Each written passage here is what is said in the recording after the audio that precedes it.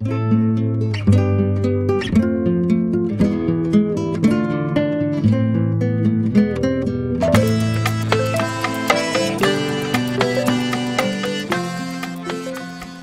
is located in the heart of the central eastern Salento, and its territory is part of the Union of the Otranto Interior Municipalities, an institution created in 2001.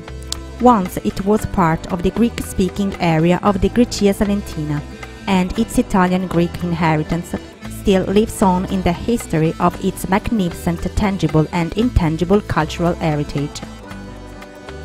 According to an ancient tradition, the name Cursi comes from the presence of a Roman station for couriers, who provided the military news to the different districts and delivered the famous Diari Cursores over long distances.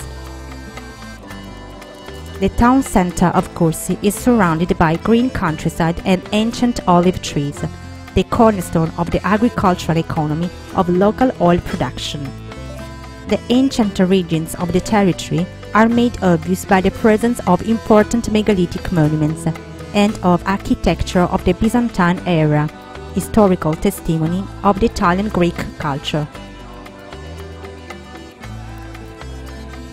The landscape assumes singular nuances in the area characterized by stone quarries, the so-called tagliate.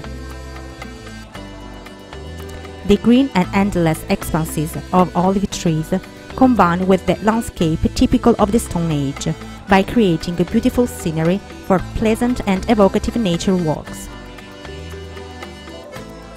Even nowadays, the local economy is characterized by the extraction of the pietra di Cursi, one of the most prized Leccese limestone employed in decorative applications and in the building industry. The limestone, visible both in the countryside and the historic center, is the dominant feature of the entire landscape, thanks to its vividness and the presence of very ancient fossils.